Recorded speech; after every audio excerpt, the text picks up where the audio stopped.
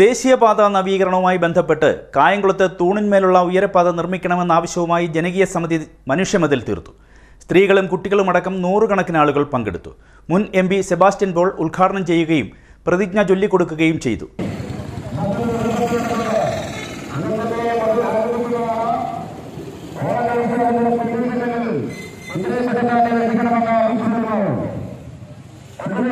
അതാണ്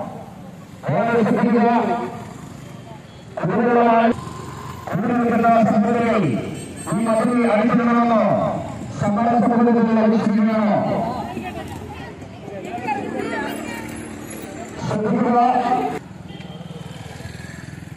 ശ്രദ്ധിക്കുക എക്സ്പോ ജംഗ്ഷന്റെ ഭാഗത്ത് നിൽക്കുന്ന സഹോദരങ്ങൾ ശ്രദ്ധിക്കുക. അവർ വടക്കോട്ട് അടുത്ത് നിൽക്കേണ്ടതാണ് എക്സ്പോ ജംഗ്ഷന്റെ ഭാഗത്ത് നിൽക്കുന്ന സഹോദരങ്ങൾ. ഈ മതിലെ അടിച്ചിടുവാൻ വേണ്ടി അടുത്ത് നിൽക്കേണ്ടതാണോ? ഇരു ഭാഗങ്ങളിൽ നിന്നും അടുത്ത് നിന്നോ? ഈ മതിൽ പൂർത്തീകരിക്കണമെന്ന് ഒരിക്കൽ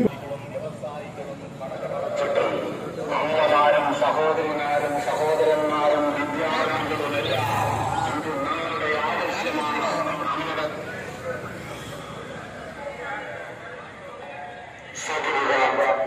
ആരെയും വിടരുത് എല്ലാരെയും പിടിച്ചോണം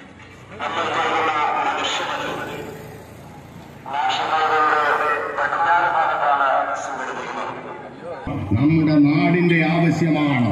ഭാവി തലമുറയുടെ ആവശ്യമാണ് ഈ പ്രക്ഷോഭണം എന്ന കരുതലോടെ ഓഗസ്റ്റ് ഒന്നിന് രാവിലെ പത്ത് മണിക്ക് ഷഹീദാർ പള്ളി മുതൽ ടെക്സ്നോ ജംഗ്ഷൻ വരെ പില്ലർ എലിവേറ്റഡ് ഹൈവേ ജനകീയ സമര സമിതി സംഘടിപ്പിക്കുന്ന മനുഷ്യമതിലിൽ പങ്കാളികളാകുക സ്നേഹപൂർവം അഭ്യർത്ഥിക്കുകയാണ്.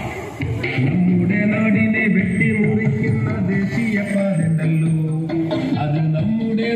നാടിന്റെ സഞ്ചാര സ്വാതന്ത്ര്യം പാടെ തകർക്കുമല്ലോ നമ്മുടെ നാടിനെ വെട്ടിമുറിക്കുന്ന ദേശീയ പാതണ്ടല്ലോ നമ്മുടെ നാടിന്റെ സഞ്ചാര സ്വാതന്ത്ര്യം പാടെ തകർക്കുമല്ലോ. ഇത് ബഹുമാന്യതി ദേശീയപാത നിർമ്മാണത്തോടൊപ്പം കായംകുളത്ത് തൂണുകളിൽ തീർത്ത ഉയരപ്പാത നിർമ്മിക്കണമെന്ന് ആവശ്യപ്പെട്ടുകൊണ്ട് പില്ലർ എലിവേറ്റഡ് ഹൈവേ ജനകീയ സമരസമിതിയുടെ നേതൃത്വത്തിൽ ഓഗസ്റ്റ് ഒന്ന് രാവിലെ പത്ത് മണിക്ക് കായംകുളം ഷഹീദാർ പള്ളി മുതൽ ടെക്സ്നോ ജംഗ്ഷൻ വരെ മനുഷ്യമതിൽ സൃഷ്ടിക്കുന്നു. ഇത് നമ്മുടെ മണ്ണ് നമ്മുടെ നാട് നമ്മുടെ സ്വന്തം സമരസമിതി ചെയർമാൻ അബ്ദുൽ ഹമീദ് ആയിരത്ത് അധ്യക്ഷനായി. കൺവീനർ ദിനേശ് ചന്ദന സ്വാഗതം പറഞ്ഞു. സജീർ കുന്നുംകണ്ടം നന്ദി പറഞ്ഞു.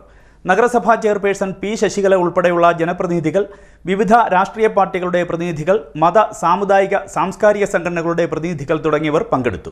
ദേശീയപാതയിൽ ടെക്സ്മോ ജംഗ്ഷൻ മുതൽ ഷഹീദാർ മസ്ജിദ് ജംഗ്ഷൻ വരെയാണ് മതിൽ തീർത്തത്.